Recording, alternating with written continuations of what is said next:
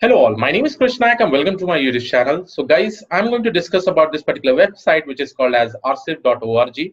What is this? It is a free distribution service and open access archive for more than 1 million scholarly articles in the field of physics, mathematics, computer science, quantitative biology, quantitative finance, statistics, electrical engineering and system science and economics. Now, as I've told you, if you are actually planning to become a data scientist, the main thing is that we need to learn continuously because there is a whole lot of research that is actually happening in the space of data science. And trust me guys based on the work we should always try to learn those things so that whenever we get an opportunity we should be able to implement it. Now definitely reading research paper reading theses reading some of the information regarding those researches will be definitely helpful. Now suppose if i and in this particular website you can see that uh, there are various domains that are captured. Mathematics is also there. Computer science is also there.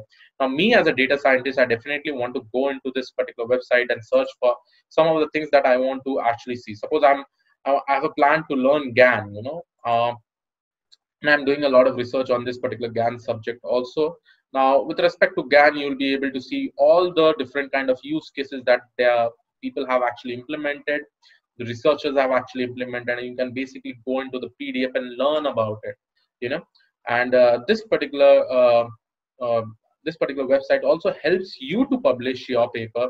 And if you want to understand how to actually publish your paper into this particular website open this particular new tab and just try to search for how to publish paper in arxiv okay?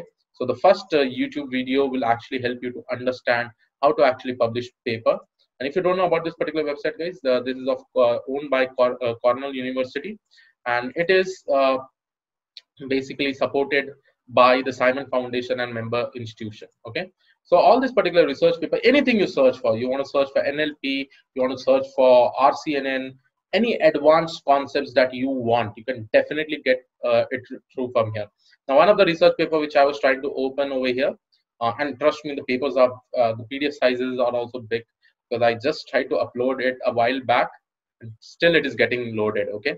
So I'll just show you because the research papers are also written in a better format which is pretty much important okay? Which is pretty much important.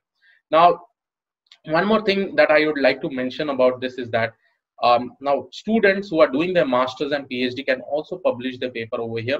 They'll also get a, a good amount of feedbacks from the people from the expertise uh, who are actually reading your paper uh, so this gives a very good way to understand that how good you have actually written your thesis or your scholarly articles in the field of some specific domains that you have actually selected.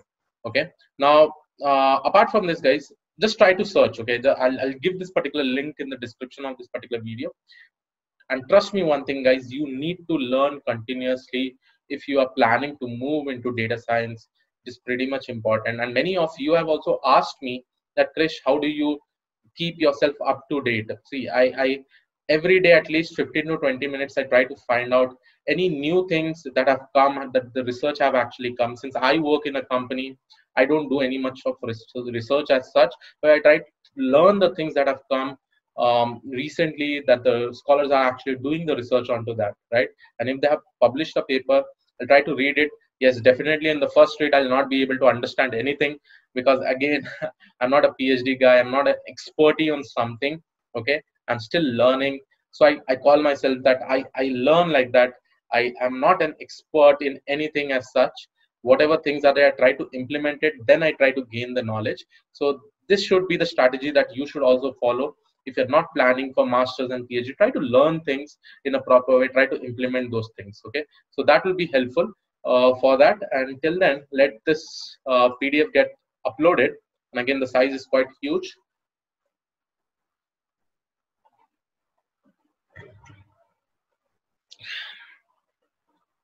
Yes. So let it get uploaded but you can see that in the computer science which i am pretty much interested in uh, computer vision and pattern recognition cryptography and security data structures and algorithms or distributed parallel cluster computing, emerging technologies, a lot of research paper there, which which is an amazing, amazing uh, distribution service of so many archives of various articles, guys. This is amazing. I'd like to thank uh, Cornell University for that, and this is a wonderful opportunity for everyone. All you need to have is internet access to actually access all these things. now here you can see that um, implementing a natural user interface to command a drone. So this is with the help of OpenPose.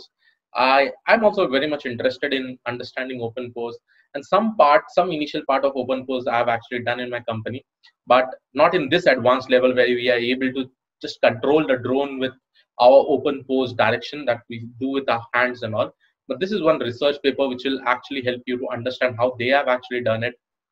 You can see that with wonderful diagrams uh, they are able to explain you a lot of things. You can see this is amazing. This is just amazing. Definitely if you read it for the first time this this formulas will look like anything for you. And definitely will not i'll also not be able to understand.